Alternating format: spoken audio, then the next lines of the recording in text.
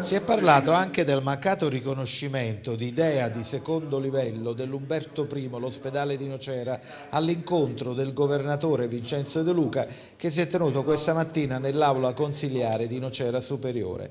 Ed è stato lo stesso De Luca a parlarne quando tra il pubblico ha visto il sindaco Maglio Torquato. Vedo Maglio Torquato, voglio chiarire questa cosa, vediamo polemiche inutili, idea di secondo livello, è una palla, ogni tanto che ci inventiamo una palla.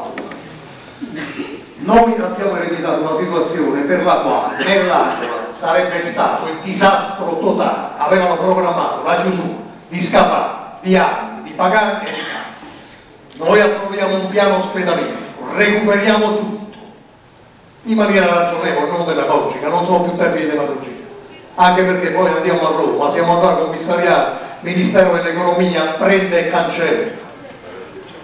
Abbiamo deciso lo faremo un investimento imponente di 25 milioni di euro per il polo oncologico di Pagani delle, uno degli assilli quotidiani. Per me è chiamare errori per dire quando diavolo mi dai il cronoprogramma per pagare.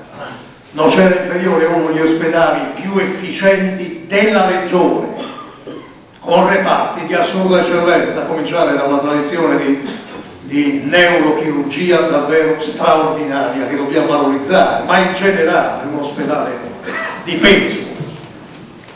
Dovete sapere ovviamente che per avere l'idea di secondo livello occorrono per 700.000 abitanti e già noi ci trasciniamo la deroga che abbiamo avuto per miracolo, perché avremmo dovuto chiudere due di secondo livello, Avellino e Benevento, Squadrine e Province Torquato non ha voluto replicare volutamente, ha detto il sindaco, mi sottraggo nel replicare con una battuta alla De Luca perché quello dell'ospedale è una questione troppo seria che non va liquidata così, atteso che lo stesso Presidente ha assunto un impegno pubblico nel settembre scorso durante un'assemblea pubblica proprio in ospedale.